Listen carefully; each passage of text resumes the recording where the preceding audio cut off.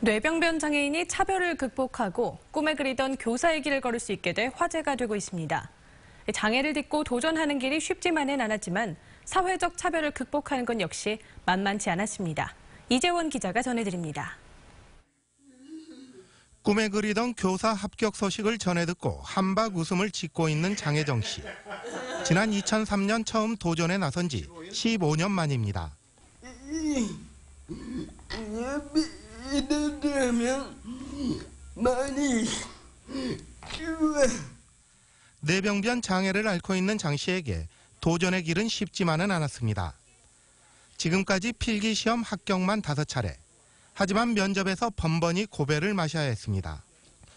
교육청이 의사소통 보조기구와 충분한 시간을 제공하지 않은 채 말을 통한 면접만 고집했기 때문입니다.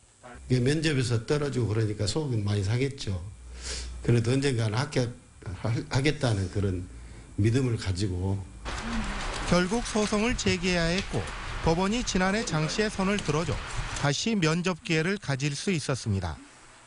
그리고 지난달 면접에 최종 합격해 교사의 길로 나설 수 있게 됐습니다.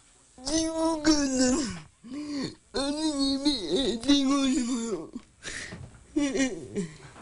광주시 교육청도 장 씨가 교사로 활동할 수 있도록 특수교육 지원센터의 좌석과 시설 개선을 추진하기로 했습니다. 누군가에게는 쉬울 수 있는 길을 너무나 멀고도 힘들게 돌아온 장혜정 씨. 장애라는 사회적 차별과 편견을 없앤 장 씨는 이제 교단에 설 꿈에 부풀어 있습니다. MBC 뉴스 이재원입니다.